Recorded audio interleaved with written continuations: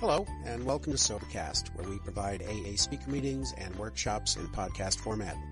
We're an ad-free podcast, and if you enjoy listening, please help us be self-supporting by visiting Sobercast.com, look for the donate link, and drop a dollar or two into our virtual basket. We hope you enjoy the podcast. Have a great day.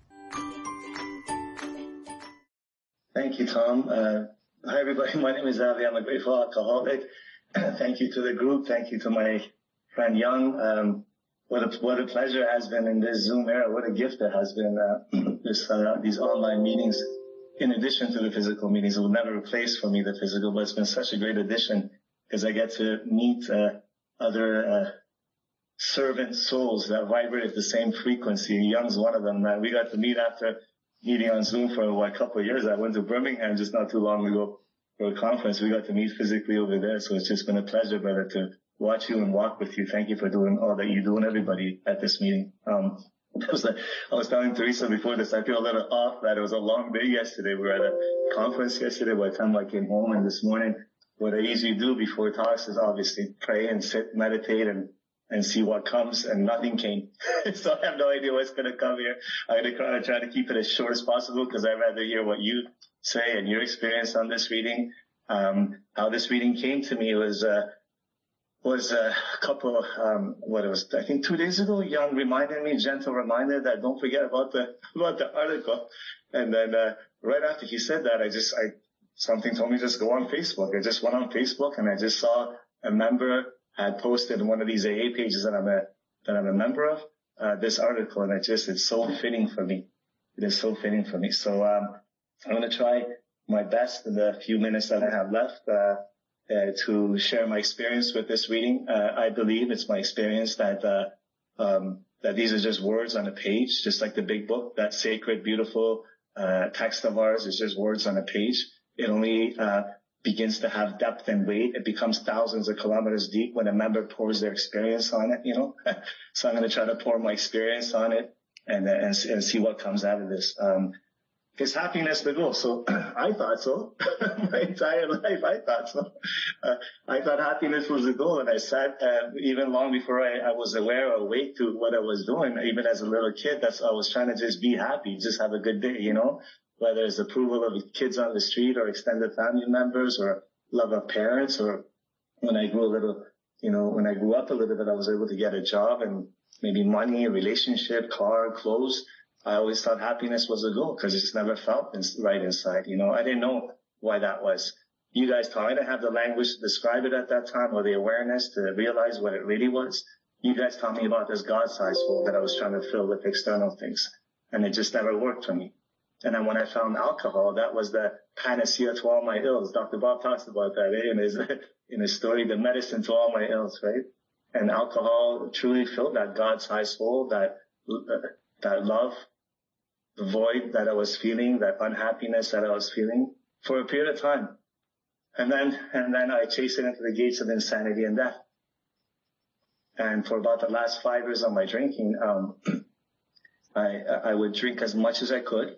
My body would be drunk, but my mind's still racing. I still want to kill myself. I'm still worried about what you think about me, you know?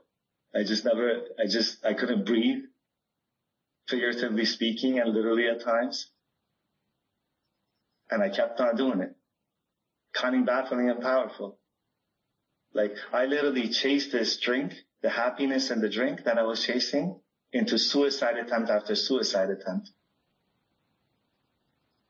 Slashed wrist, bottles of pills, exhaust in the hose of the car in the garage, actual suicide attempts and how cunning baffling this illness is. Because I never want to forget, like, uh, it's it's amazing that like there's so many different ways to do talks and topics and stuff like that. I think it's so important because if it's so important to talk about why I'm here, that who I am. I need I need to know that I'm an alcoholic, that I suffer from this mind-boggling, terrifying illness. You know what I mean? For anything else to make sense, right? So suicide attempt after suicide attempt, and I would, they would let me out of the psych ward and, uh, or whatever emergency room at the time. And I promised my poor mom that was crying by my bedside, I'm not going to do this to you again, mom. I'm not going to drink again. And two days later, they let me out and this brain with a virus in it, it would tell me that a drink would fix this. Literally. just came off a suicide bed from drinking. A drink would fix this. And I didn't have enough uh, what does the big book say on page 25? Man, I wish I could quote better. Uh, couldn't remember with sufficient force the humiliation whatever what a week ago or two hours ago, you know? Cunning, baffling, and powerful. I'm powerless against alcohol. I'm powerless. There's a spiritual malady underneath it that, that, that I was drinking. There's a reason I was drinking it because I was maladjusted to life. Couldn't feel okay inside. And the drink fixed that but I became powerless over destroying my life and, and, and engulfing any, uh, anyone else whose lives touched my path. I engulfed them, the Bible talks about. Destroyed them from my parents to girlfriends to family friends. You know, and I found you guys. I never looked at it this way actually. My entire life was chasing happiness. I never really looked at it this way. Hmm. and I found you guys. Uh, loving God brought me to you guys. In 2006, I was 12 step and uh, and I found love with you guys. I, I, was on a pink cloud, they call it, eh? A pink cloud, uh, cloud nine, whatever. it was a beautiful thing, man. I fell in love with the fact that I found my tribe. You guys drank like me, and you and you felt like me, and you felt like me. But those seeming uh, problems, uh, calamities of life, were not destroying you and overwhelming you. You talk with them about them with levity and joking to help each other with it, like sort of the article talks about, right? And that was interesting to me. And, and, and, and I thought I could keep that period of sobriety that I had for the first five, six months just by coming to a lot of meetings. And I did that. A lot of meetings, really active at the group level. I didn't work any steps though, eh? I didn't work any steps. It's like, it's like if I want to get in real good shape and feel good about my body and, and feel confident by just going to the gym and talking to people and getting inspired and going home. That's what I did with you guys right? Uh, how silly that would be in the physical realm. But this is a life, uh, like a vital, uh, life-giving situation, life-losing situation. I'm confused about it. Insane. Alcoholism, man. My last drunk wasn't as bad as the 50 before that. I always say this because it's true. it was just one night. Usually it's not just one night. I was in AA for four months, really active in AA, lots of meetings, coffee pots, shaking hands. Ooh, no steps. I went out, drank one night, came back in. I passed out and came to, found myself in that, in that room that I was renting in a men's recovery home. I, found myself in an incredible amount of pain, physical, mental, spiritual pain. My body was hurting, my joints were hurting, little physical. My mind was racing. And the hooves of the four horsemen were really loud. Why don't you kill yourself, you loser? They always talk to me. Why don't you kill yourself, you loser?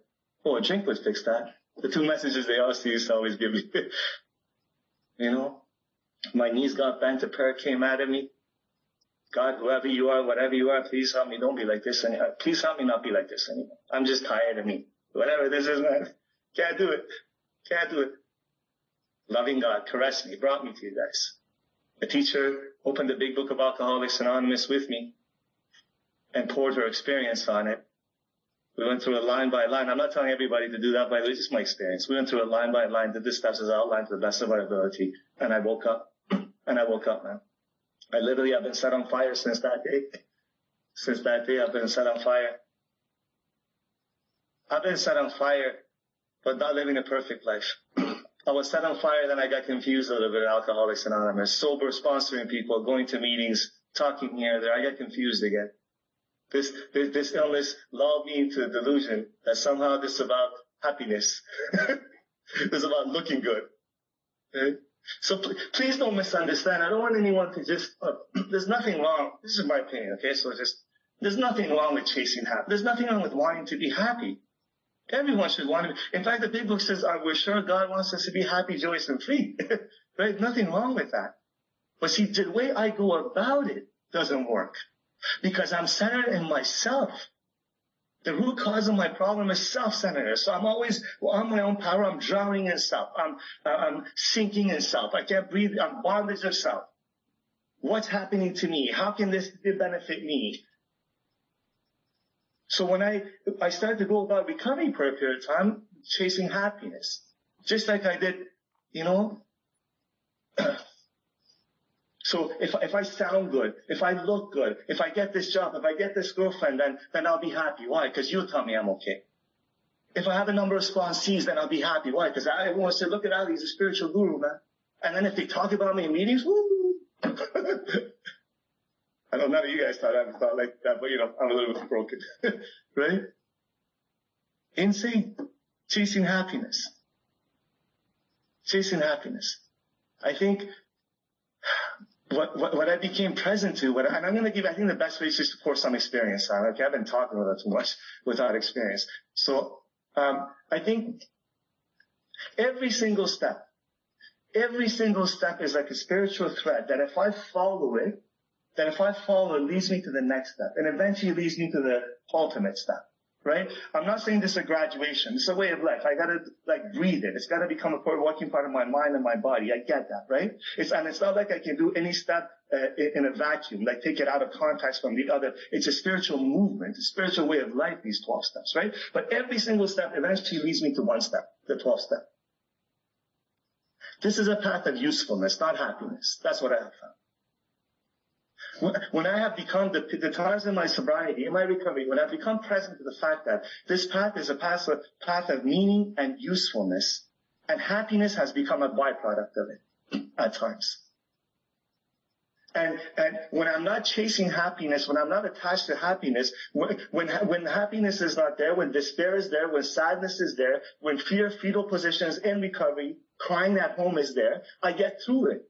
Because it's not about me so much. It's about God. Can you please remove this selfishness from me and show me who would you have me be? What would you have me do? Because I just want to be useful. I, I made a deal back in the third step. The deal wasn't for me to be happy, to had a beautiful wife and a, and rich and uh, speaking engagements, become a circus speaker. That was not the deal, man. The deal is to be useful to your other kids. I made a deal. It's right in the third step. I made a deal. I'm going to do your work to the best of my ability perform your work well, and stay close to you and help your kids to the best of your other kids, to the best of your ability, my ability. And you take care of the details of my life.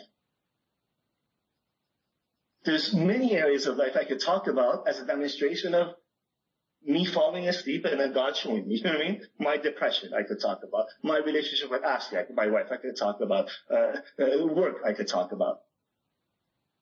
So, so let's talk about, let's talk about Ashley. Okay? Let's talk about relationships. My entire life, I was ugly on the outside and inside. I was, and I,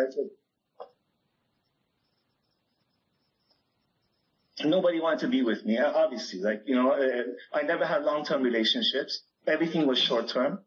I always try to put up an image. Why? Because I'm chasing happiness. I'm chasing what you can do for me. I didn't know what love was. Love is what you do for me. If you're kind to me, if you acknowledge me, if you praise me, then I love you. If you disagree with me, oh man, I, I took hostages in relationships.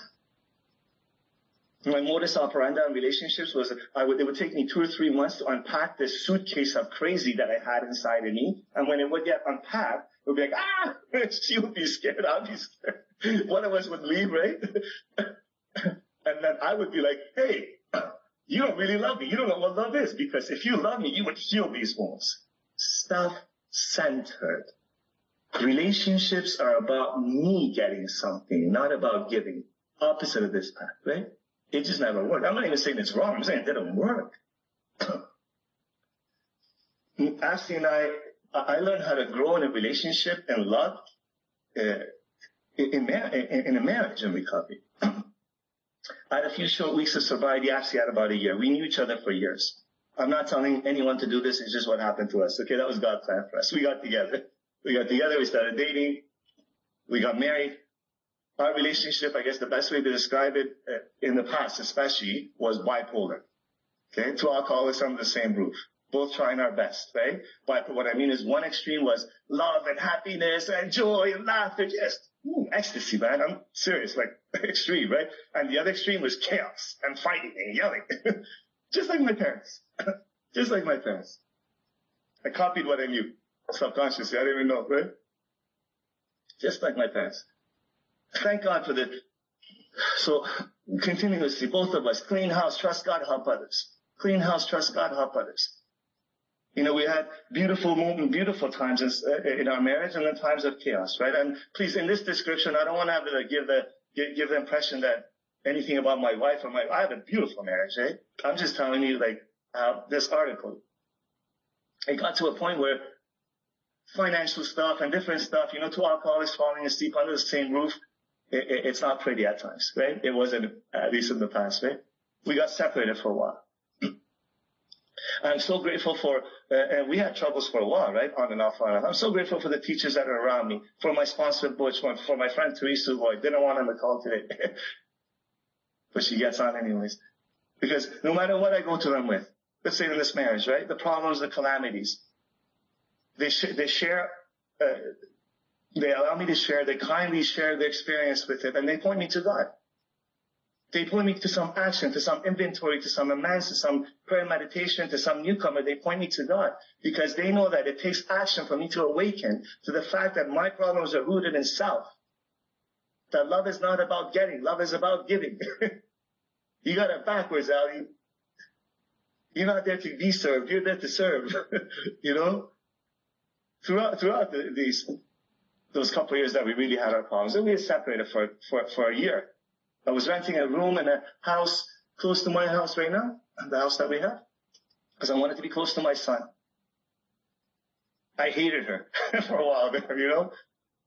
But here's the thing: I get to be broken, and I and I and, and I don't have to be perfect. Because throughout this whole thing, I was still in it with you guys, you know, doing the best that I can. I ended up in a like I would do inventories and I would wake up for a little bit and I'd feel peace and all of a sudden it would just come back and get me again. These thoughts that it's her fault. She's controlling, she chases money too much, she's mean, she's cruel, she's this, she's that. I was sure my problems are her fault. has to do with her doing. I found myself in a room, in that room that I was renting. Excuse me. So check this out, eh? For years I was chasing happiness, right? And my last drunk, I found myself in a rec- in a room in a recovery home, and the four the four horsemen with their hoofs, right, telling me kill yourself, you loser, take a drink. Now a few years down the road, I'm in recovery. I'm sponsoring people, but I'm still chasing happiness in a marriage instead of usefulness. What happened was that I found myself in a different room in a different house, close to my house, and the four horsemen came for a visit. Why don't you kill yourself, you loser? Once you take a drink, a drink would fix that. Crazy, eh? I suffer from alcoholism, man. It's a soul sickness. It's a spiritual malady. It's not a drinking problem. A drinking problem, this would have been the solution. Put down the drink and walk away. Go get some marriage counseling. That's a drinking problem.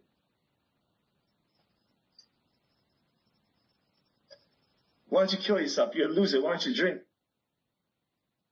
My knees got bent. A prayer came out of me. God, please remove the selfishness, self-centeredness from me. Show me who would you have me be? What would you have me do, God?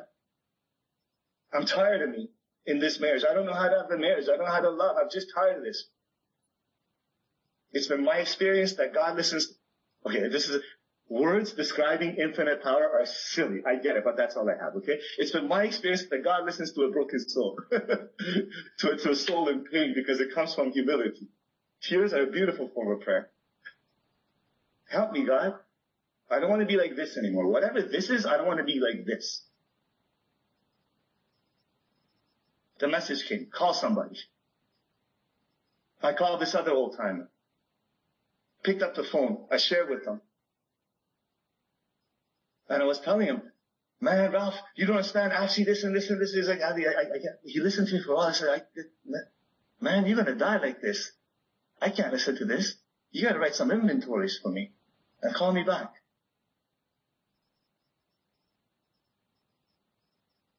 I wrote, I took, like, I was crying. I remember I was, I was in that room sober, crying, wanting to drink. I prayed, God, remove this desire to drink from me. I'm writing him. It took me two, three hours to write these inventories for, right? I call him back. and I'm like, okay, you ready, Ralph? He's like, you ready? You done already? I said, yeah, I'm sorry I took so long. He goes, he goes, oh, I thought you were going to take a couple of days. And I realized, oh, no. So I read these inventories to him, right?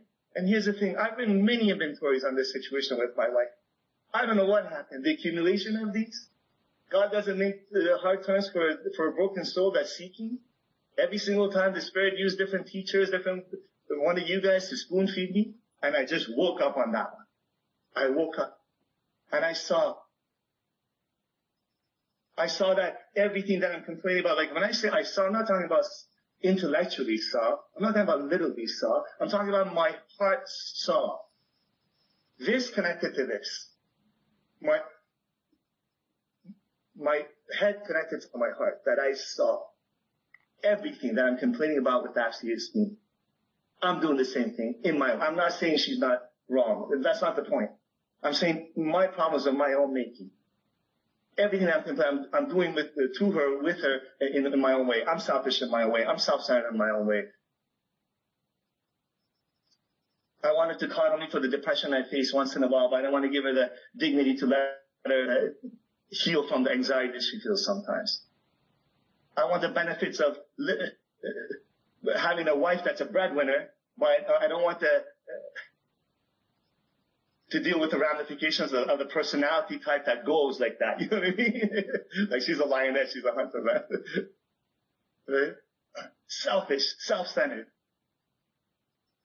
I woke up, man. And what Ralph said is, Ali, you've never done a six and seven on this. I'm like, what are you talking about, Ralph? I know what six and seven is in the book. That does not say a prayer. No. You're still trying to play God. You're trying to manage this thing. You haven't done a seventh on this. Oh. And I woke up, man. And I woke up. I woke up to the point where I got detached from being married. Well, it looks like this marriage is the only thing I'm going to talk about. I'm going to talk about work and depression, but I got a few minutes left. That's all good. but I'll wrap it up soon. I, well, where was I going? Who I lost?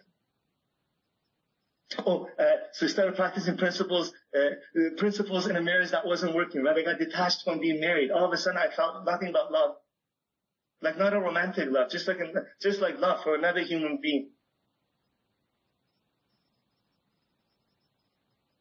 Uh, I just wanted to love on her and I wanted to co-parent with her. I wanted to be with my son. I didn't want to and, and then for, for, a few months, we were just really good together, man. With the help of my sponsor and Teresa, I was just being a better person, really practicing principles in my affairs. And the pandemic hit, right? and the pandemic hit, and, and she's like, uh, you know, at the beginning, do you guys remember? We were like this. We thought everyone's gonna die soon, right? So like, actually, we're like, oh shoot, everyone's gonna die. So I actually said, why don't you just move back home for a little bit? This last little time, if we have together, just spend time together, right? And we fell in love, man. We fell in love. A deep sense of love a spiritual love, not a romantic love. I'm sorry, I keep saying not a romantic love, not just a romantic love. What I'm trying to say is that I've seen, I woke up to this fact. I, I am not privileged. I, I cannot, I cannot be trusted. I cannot handle having normal human romantic love because I am centered in self. But my idea is love. Remember what I told you what you do for me, right? So for Ashley and I, for this relationship to work, God has to be in the middle of this thing. It has to be a constant spiritual experience with us. God has to be everything, not this marriage everything. Our romantic love has, has been arising out of the spiritual love. That's where it has to come from. Every relationship I have has to come from the spiritual relationship with this power, with God. You know? So what happened? Throughout this whole thing, as I was, as I was going through these difficulties with, with my wife and with God would send me men or my sponsees, the, the men that I was sponsoring, that I am sponsoring, they would have relationship problems, marriage problems. What happens? I get to share with them openly. I get to be a, I get to be transparent. I show them my wounds. At the same time, do what you do for me. Show them, see, this is how spiritual principles work. They've been working in this marriage. Because the wound is where the light shines through, Rumi says. That's why I'm broken. I'm broken because I'm a servant. I'm supposed to be broken. Nothing's supposed to be perfect. Life is not for me about happiness and how good life is. No. It's about being useful. It's about being useful. I have one purpose in life. To be of maximum service to God and the people about me. To be of maximum service in this marriage. To be of maximum service in relationship with my son, with my friends, with a man I sponsor, to my sponsor, at work, in AA. Maximum service. And I fail at that sometimes. I do. But that's okay, because I'm broken. God doesn't make too hard terms for me. I, I, I have been brought, I've been gifted to a much deeper path, man. Usefulness. The seven step prayer does not say, my creator, uh, what I say, remove these defects of character which stand in the way of my happiness, does it? my usefulness, my usefulness to you, my fellows. That's where I find my bliss. The most difficult times, the deepest depressions, the most uh, fear-induced financial moments in recovery, they have been transformed to bliss when I am present to my assignment for the day. And in order for me to be present in my assignment, I got to clean house, trust God and help others. Clean house, trust God and help others. I got to come to your meetings. I got to be with your. I got to come to this fellowship. I got to be with you. I can't do this on my own either. The step says we, we, we do this, we, we do this. You know? I don't know where that went, man. God bless you. Thank you for letting me share.